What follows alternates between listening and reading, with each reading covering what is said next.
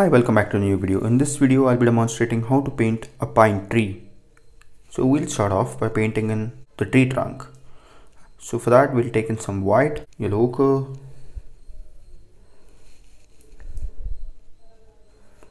just a touch of orange.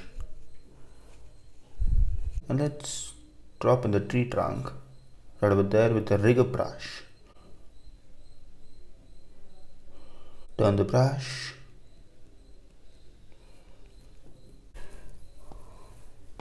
and now I'll grab in some thick paint. The background is completely dry.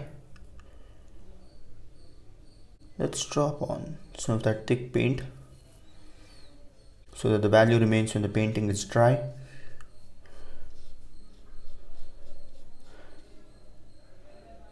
And now I'll go into some black take off the excess paint. Let's come over here and just place in some more of that. Load in thick paint I'm doing it immediately so that the blending happens. And now I'll take another tree and texture brush. You could use any small brush for this. And just blend this.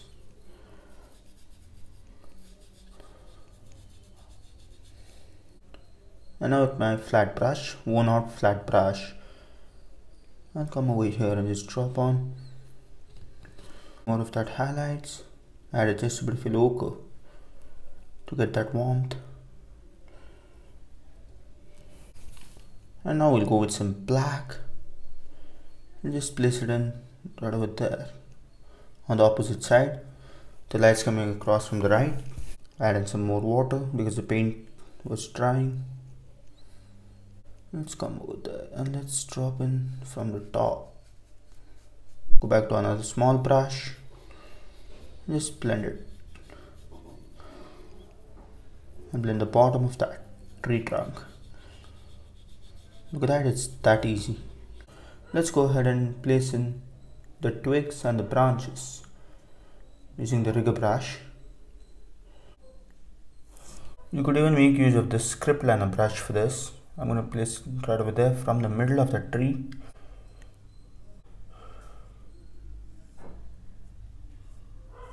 Look at that just sort of getting that effect and I'll pretty much do the same thing till over here maybe. Let's see. Now some sap green yellow ochre and touch of black. Let me show you the color. So the color looks something like this. So taking a mid-tone color. Load the brush full of paint. And let's drop in some those leaves and stuff. Okay something like that and maybe we'll skip some spots. I'm using the worn out flat brush. This is different from the manipulated flat brush that I use. Loading more of paint. More of black. Just trying to get that depth.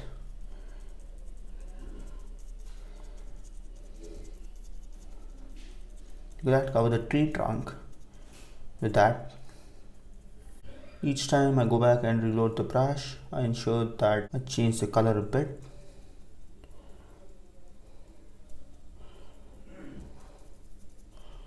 Look at that, it's that easy, just tapping it. You want it to be symmetrical. Differentiating with the shapes, directions, angles. Now I'll hold the brush like that. Let's drop in the edge of the tree that defines the shape of the tree. And now I'll take in some black and just place in right over there. Adding in some textures and some shadows at the same time. Don't want to cover the tree trunk completely.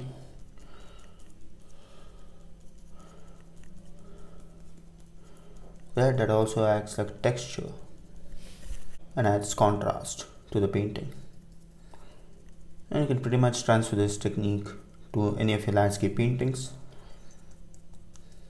And I'm going to paint less of that black on the right side. And I'm not going to reload my brush now because I want very little of that over here.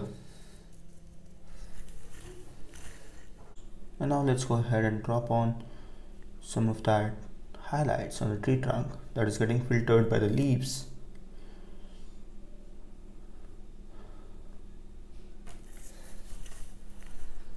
Now I've taken some lime yellow and green and some white. Load the brush full of paint and I've taken the modified flat brush. Then let's start from here. It comes all the way up till there. Look at that. Just tapping it very lightly to the top of that tree. Change the angle of the brush. Skip some spots. Don't overdo in the same place.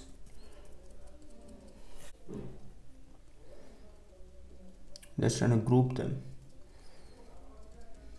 So now this is the highlight phase and I might go with a coat of green, just green to get that depth.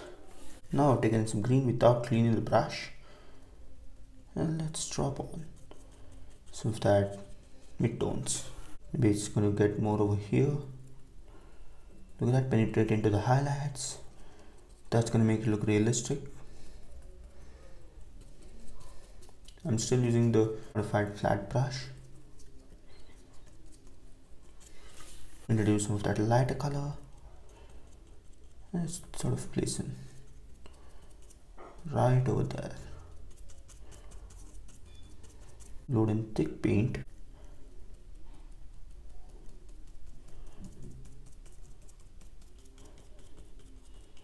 at that and the bottom is going to be slightly darker than the top. Okay something like that. And I will go with another coat of shadows. So I've taken some black without cleaning the brush. And even over here I'm skipping some spots so that the previous colors are shown are seen through and for this I'm making use of the modified flat brush.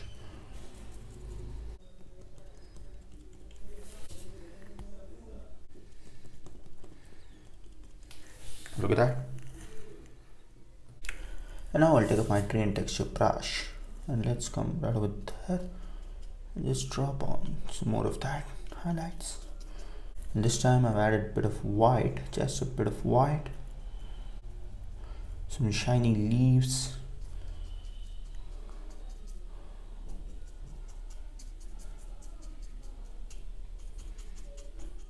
With this, I come to the end of this tutorial. I hope you have enjoyed it and thanks for watching.